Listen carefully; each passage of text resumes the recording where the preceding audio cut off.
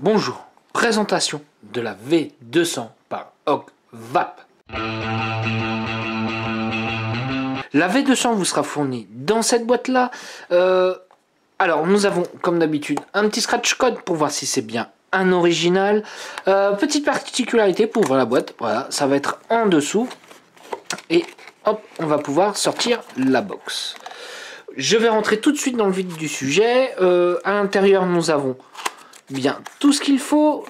Alors, voilà. Donc nous avons un petit câble USB pour pouvoir recharger la box si on le souhaite. Euh, nous avons un petit euh, flash code pour voir euh, sur Instagram par exemple. Et nous avons un petit manuel. le manuel ici est entièrement en anglais, ce qui est un petit peu dommage. Ça serait bien qu'ils pensent à le faire en français. bon, voilà, on va rien dire. voici la box. Alors on a un look un petit peu particulier, ça reprend le carter d'un moteur que tout le monde reconnaîtra. Euh, moi j'aime bien, j'aime bien, ça change un petit peu de look, euh, on ne reste pas sur une box basique, carrée. Euh, voilà, ça change, ça me fait plaisir.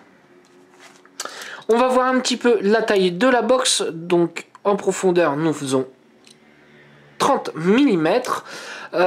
donc du coup, tout ce qui est à dripper en 30 mm, nous serons flush sur cette box là. C'est pas négligeable. En largeur, nous faisons alors je prends vraiment le coin le plus large. Nous faisons 45 mm et en hauteur, nous faisons... Nous faisons 91 mm de hauteur. Donc une box relativement assez compacte pour une double accu. Oui, c'est une double accu. Euh, avec accès sur cette petite trappe là.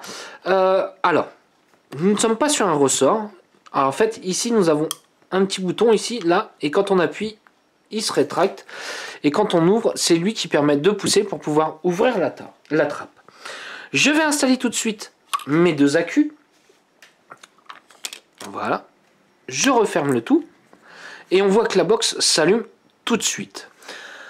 Qu'est-ce que va nous dire ce petit écran euh, donc nous avons, là nous sommes sur automatique, nous sommes à 52 watts, la valeur de résistance, le nombre de volts que ça va nous envoyer, le nombre de secondes en puff, c'est-à-dire combien de temps on va avoir tiré à ce moment-là, et ce qui me plaît bien, ça je n'ai pas montrer sur la trappe, c'est que nous avons une partie A et une partie B. Ça va être tout simplement l'accu, euh, la charge de chaque accu en pourcentage.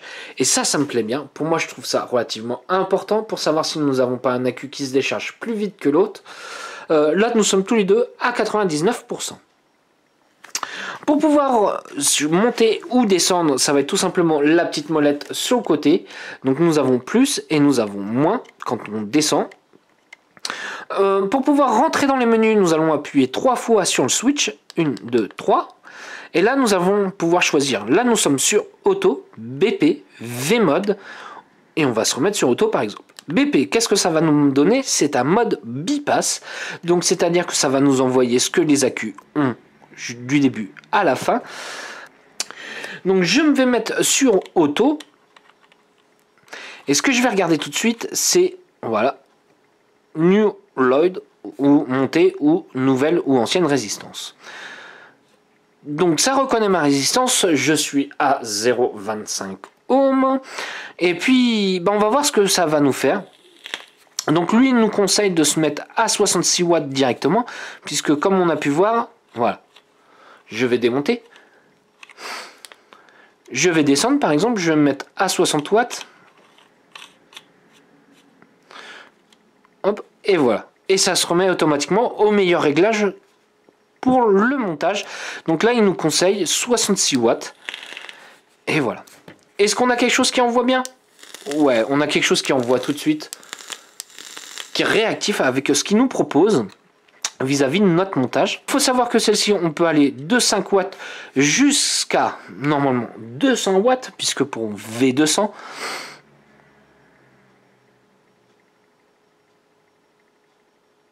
Voilà, jusque 200 watts. Euh, ouais, du coup, c'est une box qui a le feu avec les 200 watts. Euh, vis-à-vis du ohmètre, je le, trouve particulièrement fiable. Ça, là-dessus, j'ai rien à dire. Ogvap, dans l'ensemble, nous fait plutôt des bons, bons produits, pas trop cher. Après, le question de look, c'est on aime ou on n'aime pas. Moi, je l'apprécie particulièrement bien et c'est relativement assez compact dans la main. Euh, ouais, j'ai un plaisir. Voilà, j'ai un plaisir de, présenter cette box là et qui envoie plutôt bien. Je vais peut-être pas m'éterniser trop longtemps sur la box, puisque ça reste quand même quelque chose d'assez classique vis-à-vis -vis du chipset, qui est plutôt bien lisible. Et on va se voir tout de suite en plan large. Donc voilà ce que nous donne la box dans la main. Donc on a un look euh, un petit peu particulier, mais avec une très bonne prise en main, que j'apprécie. On est relativement très compact pour une double accu, et ça il ne faut pas l'oublier. Euh, moi ce que j'apprécie bien, c'est hop, c'est ce petit euh, réglage pour pouvoir monter en watts, qui se place juste merveilleusement bien, bien au niveau du doigt. Et puis bah, ce petit switch qui est juste au-dessus de l'écran voilà. Et puis, bon, on va se faire un petit nuage. Pour moi, c'est une box qui est relativement assez réactive. Euh, ça me déplaît pas. J'avais abandonné un petit peu tout ce qui était électro à cause de ça. Euh, non, j'ai rien à dire. C'est réactif, ça fait plaisir. On a Ouais, c'est un ensemble, c'est un tout. Euh, après le look, il faut savoir le passer. Si on n'apprécie pas, je peux le comprendre. Ils ont voulu nous faire quelque chose de différent et non quelque chose de vu. Et ça fait plaisir.